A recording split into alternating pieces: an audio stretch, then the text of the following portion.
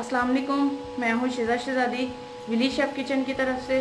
अस्सलाम वालेकुम तो आपके सामने हाजिर हुई है शिजा शहजादी। तो सबसे पहले विली शेफ किचन को जल्दी से सब्सक्राइब करें, ताकि मेरी हर आने वाली वाली वीडियो सबसे पहले आप तक पहुँच सके और आप उसको देख सकें। तो ये फ्री ऑफ़ कॉस्ट है, आप इसको सब्सक्राइब करना ना भूलें और बेल आइकन को ज़रूर क्लिक करें। तो आज मैं आपके लिए बहुत ड्रिंक इस तरह का बनाने वाली हूँ कि आप उसको गर्मियों के दिनों में उसको ज़रूर पिए डेली बेसिस पे।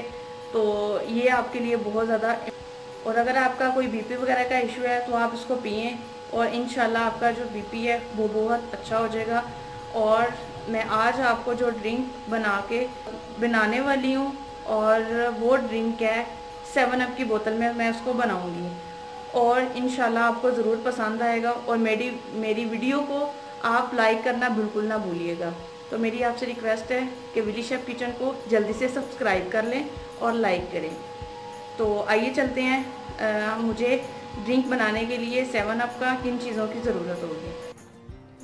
तो इसके लिए मैंने लिए दो सेवन अप की मैंने दो गिलास मैंने बोतल ली हैं आइस ली है छोटे की उसमें उसको मैंने कटिंग कर लिया था और एक मैंने बड़ा नींबू लिया, इस तरह मैंने उसको कटिंग कर लिया और मैंने नमक लिया, इसको मैं हंसबे ज़रूरत इस्तेमाल करूँगी।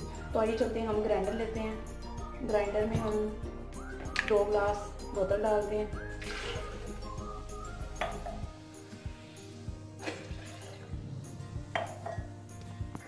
उसके बाद सॉरी मैंने आपको बताना भूल गई मैंने पुदीने लिए हैं। इसके मैंने दो गिलास के लिए मैंने ये पंद्रह से बीस मैंने ये पत्ते लिए हैं। इसको भी मैं ग्राइंडर में डाल रही हूँ। और ये आइस ली थी, इसको भी मैं डालूँगी। और हस्बैंड ज़रूरत में इसमें नमक ऐड करूँगी। अब मैं इसको ब्लेंडर करूँगी।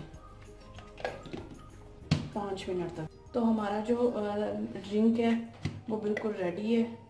तो आइए चलते हैं हम इसको ग्लासों में डालते हैं।